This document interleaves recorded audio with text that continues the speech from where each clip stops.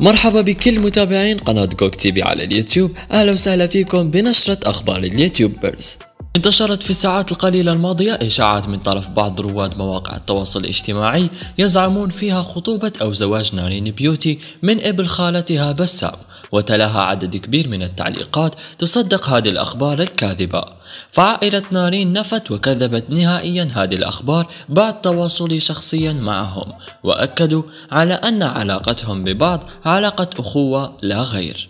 حتى أن الصور ما كان إلها علاقة بموضوع الخطوبة أو زواج وكانت صور جد عادية مثل صور مثل صورهم السابقة مع بعض. شو رأيكم بالموضوع؟ اكتبوا لي رأيكم بخانة التعليقات.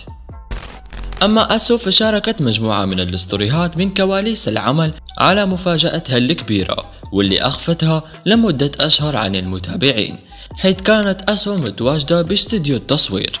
فهل ممكن تكون المفاجأة عبارة عن منتجات لماركة خاصة بها ملابس أو مكياج أو شي تاني؟ شو رأيكم بالموضوع؟ اكتبوا لي توقعاتكم بخانة التعليقات.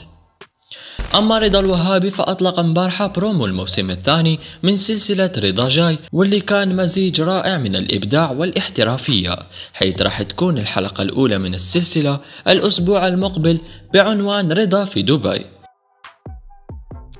أما رغدة فاختفت من على مواقع التواصل الاجتماعي وتساءل الجمهور عن سبب تقصيرها في تنزيل الاستوريهات فشاركت ستوريهات بعد عودتها والسبب كان انشغالها بتصوير فيديو كليب أغنيتها الجديدة بعنوان قلق. مرحبا يا حلوين بعرف إني منزلة بوقت كتير متأخر بس هيك آه، ما بعرف حسيت حالي كتير مقصر بالستوريات فحابة أحكي لكم شو اللي صار اليوم. التصوير كان كتير حلو وكتير مبسوطة كتير متحمسة.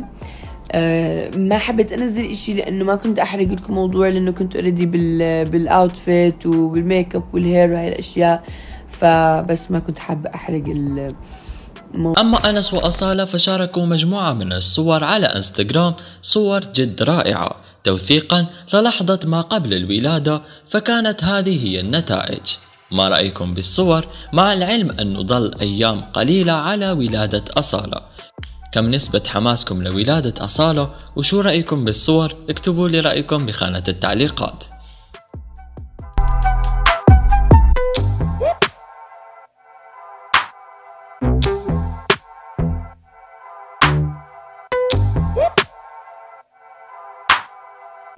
وهون نكون وصلنا لنهاية الحلقة. لا تنسوا تضغطوا على زر ال like وتشتركوا بالقناة لتوصلكم جميع أخبار ال YouTubers أول بأول.